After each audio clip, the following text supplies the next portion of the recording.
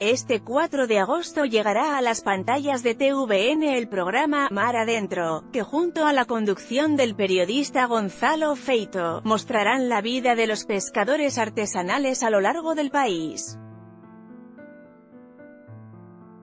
Los pescadores artesanales de nuestras costas han sido, desde hace años, un pilar fundamental para el crecimiento de las caletas nacionales. Sin embargo, poco y nada se sabe de esta difícil profesión y de cómo funciona todo dentro de un bote. Es por esto que Gonzalo Feito, junto a un gran equipo crearon, Mar Adentro, el nuevo programa de TVN que mostrará al conductor compartiendo el trabajo de los pescadores de norte a sur. Si bien muchos conocen a Gonzalo Feito por ser panelista y conductor de diversos shows televisivos, esta es su nueva faceta cultural.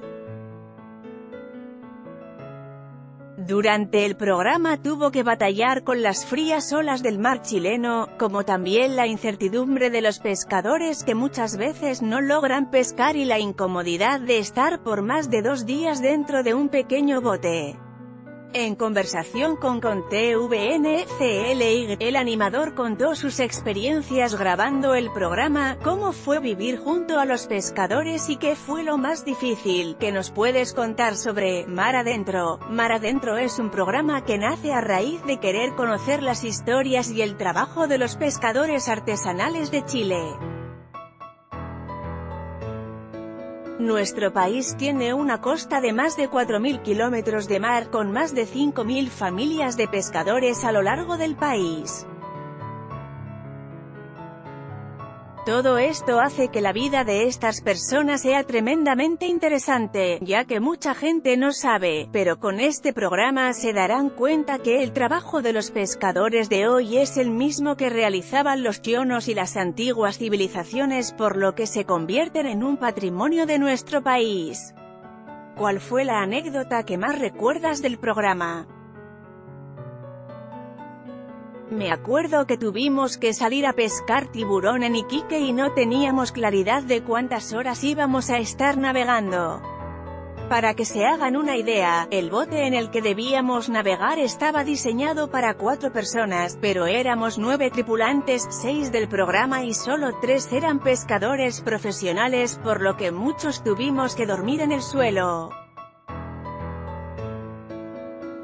No teníamos baño, lo cual era muy incómodo, y los pescadores nos prometieron que serían 12 horas de navegación, pero terminaron siendo 36, me quería morir, como es el pescador artesanal chileno.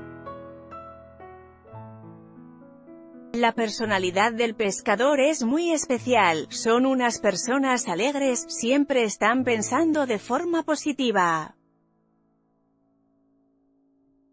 Pero por lejos lo que más me llamó la atención es que viven muy en comunidad, si una persona tiene algún problema de salud o de dinero, todos lo ayudan sin dudarlo.